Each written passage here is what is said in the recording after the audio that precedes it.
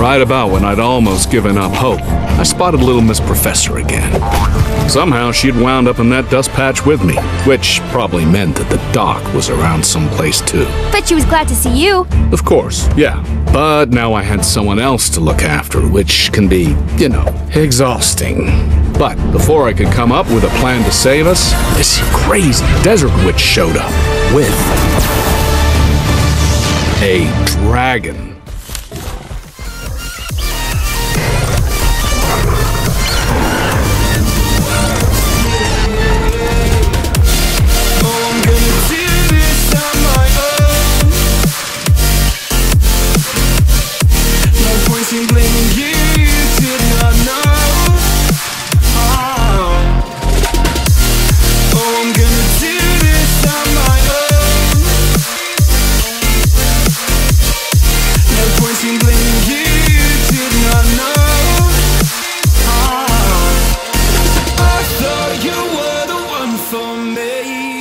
soir